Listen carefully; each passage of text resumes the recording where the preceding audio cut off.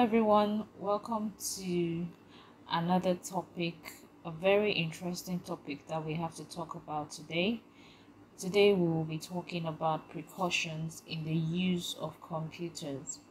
I know you all have computers in your schools, in your homes, your parents' laptops, your parent desktops. You know, computers come in various forms. You have laptops, you have desktops. So, today I'm going to be showing you things you need to do to ensure that you keep yourself safe when you're using the computer.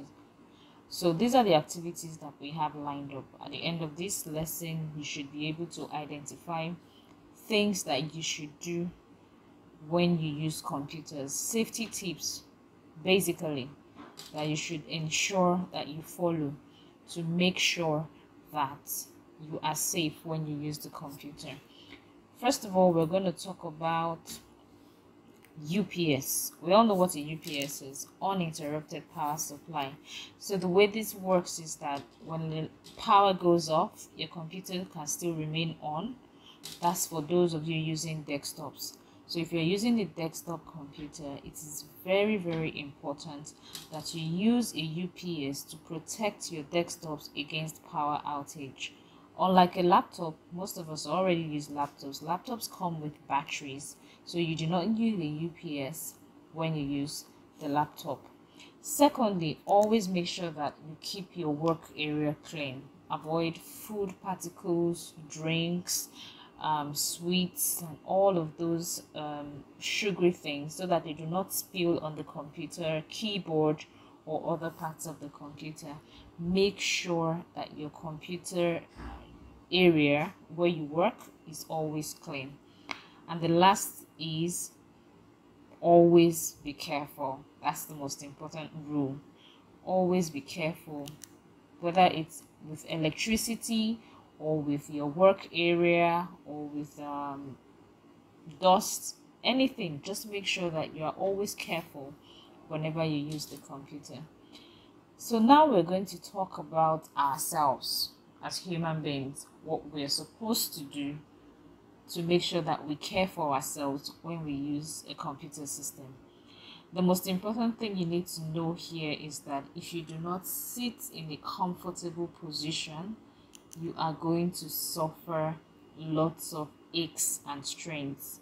Your body posture will have you would have issues with your body postures. So when you're using the computer, make sure that you sit tall just as it, it shows in the picture here. You align your ears your shoulders your hips. Make sure that you are an inch taller than the desktop computer when you sit on it. With a laptop as well make sure you're doing the same thing. You're sitting in a comfortable position you're resting your back and you are not slouching because when you slouch, slouch you're going to have lots of shoulder pains. Completely rest your wrists during breaks. You could have you could suffer lots of aches and pains when you're touching the touchpad a lot. So make sure that you take some time off to make sure that you rest your wrists. And exercise. You notice that when you exercise you're building your stamina your strength your flexibility so this makes you really really healthy. And now you're going to do some activities. Everything we're going to talk we just talked about you're going to tell me one or two precautions that should be taken when you use a computer. You're going to enumerate two precautions that should be taken as a user. Now remember you are the user so now you're going to tell me what you need to do as a user we've already talked about it so make sure you listen to this lesson again and then you can answer the questions. And then lastly, state one reason why you should take care of yourself when you use a computer. Thank you for listening. I hope to see you in the next lesson. Bye.